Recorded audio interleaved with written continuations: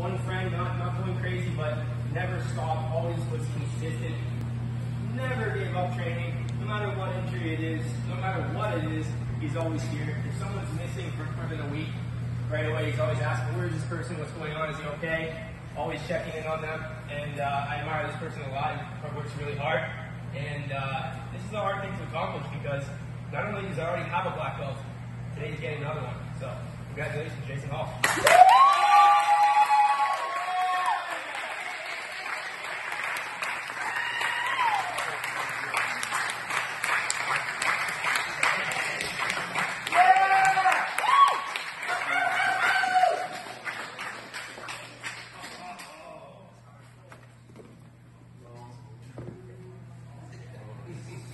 Save that round up for Travis. Two, man.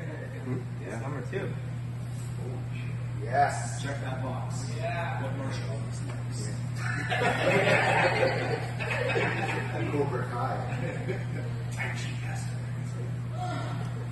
Turn around for a second. Please. Ready? One, two, three. Yeah.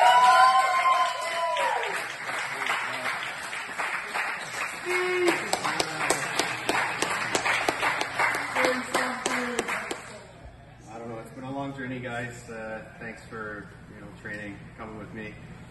You know, in and out every day. Couldn't have done it without all of you guys. That's it. Thanks, man.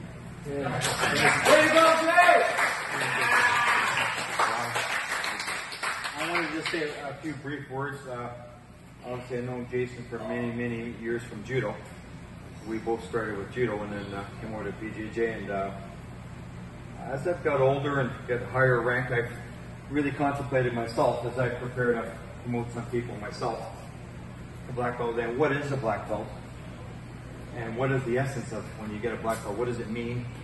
And what, uh, you know, we all have our separate journey. So as I've got older, I really changed my my thought on what what it is to promote someone to that rank, and and also, uh, you know, uh, what are the core values you need as a black belt in my mind. And I've changed over time where I thought being a competitor myself, you know, I thought that was pretty important, and now I've really almost gone polar opposite to it, where I thought, uh, you know, character has, been more of a thing that I've looked at now. Who is the person? Uh, what type of lifestyle do they lead? Uh, are they a bit of a philanthropist? Do they give back to others? That's something I've really discovered to try and. It's uh, really important to to uh, have some insight, and that's what uh, one thing that uh, that uh, Professor uh, said about Jay, and the one thing I want to extrapolate on is that he has a great insight on other people and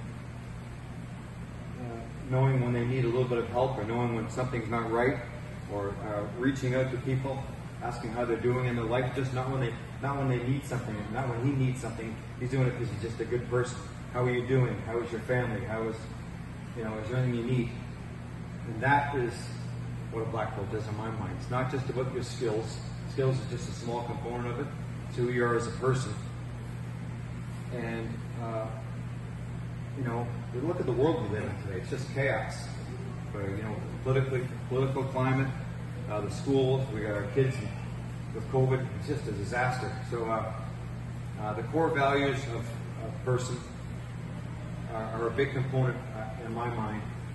I'm sure Dan will agree. Uh, when someone becomes a black belt, we need people to be good teachers and good leaders.